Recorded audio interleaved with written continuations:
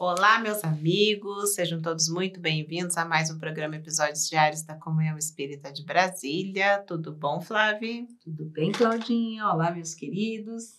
Continuamos então, voltamos ao nosso livrinho Vida Feliz, depois de comentarmos outros livros de Joana de Ângeles em função do Natal. Hoje, na lição 183 e do livrinho Vida Feliz, né? Vamos ver o que Joana nos fala.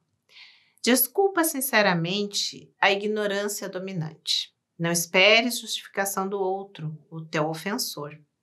Supera os ingredientes indigestos da agressão dele e mantém-te bem, buscando esquecer de fato a ocorrência má. Quem guarda mágoas intoxica-se com os miasmas que elas exalam. O agressor está muito desequilibrado e necessita da medicação da bondade para recuperar-se. Perdeu a lucidez e por isso agride. Concede-lhe a oportunidade que ele não te dá. É sempre mais confortável a posição de quem é generoso. Melhor que sejas tu o doador, significando que já conseguiste o que ao teu próximo falta. Olha, que lição.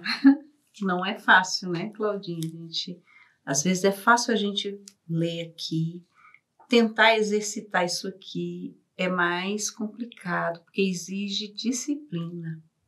E de que forma que a gente exercita? Né? Através do que? Quando chega o agressor, você tem que, às vezes, dar um passo para trás né? e não reagir. E, e, é ruim, porque a gente, quem tem, todos nós ainda, né, temos orgulho, muitas vezes nós somos atingidos no nosso orgulho, somos atingidos na nossa né, nos nossos pontos fracos. Que o agressor, quando ele vem, ele está magoado, ele vai com tudo.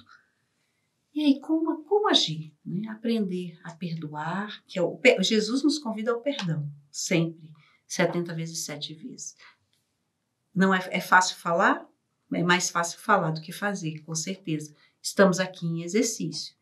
Então, vamos passar por situações que nos auxiliem a aprender a perdoar. Então, cada situação, vamos enxergar como um exercício. Nossa, eu vou ter, vamos fazer esse exercício de perdão, de quando o agressor chegar até nós e a gente não reaja, né? Não reaja do mesmo jeito que ele, porque nós vamos estar, né, numa disputa que não vai chegar a nenhum lugar.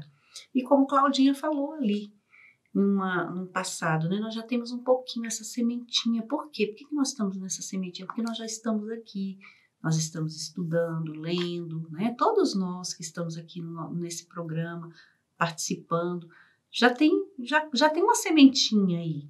Então a gente precisa fazer essa sementinha frutificar, crescer. Com isso, exercitando em nós, né? O perdão, o amor, nas pequenas coisas. Comecemos do pequeno e aos poucos nós vamos chegando e ampliando até que um dia não haja, não, não virá, nós não sentiremos mais a ofensa. Por quê? Porque nós vamos olhar para aquele irmão que nos agride como um ser que está precisando de carinho, de cuidado, de atenção e de amor, como Jesus nos ensina. Perfeito, perfeito.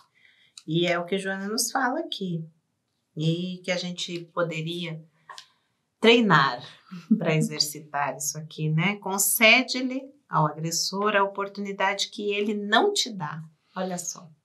Se a gente conseguir fazer isso, dar oportunidade para aquele que nos, está nos agredindo, aquela que nós gostaríamos que ele nos desse, que é ficarmos calmos, ficarmos, não revidarmos, não reagirmos e matar ali o problema, deixar o problema se esvair ali, não carregando mágoas.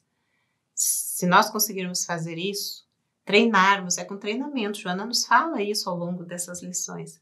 Treinemos para que nós mesmos não nos prejudiquemos, seja física, seja emocional, seja espiritualmente. E é isso. E é isso. Até a próxima. Até a próxima.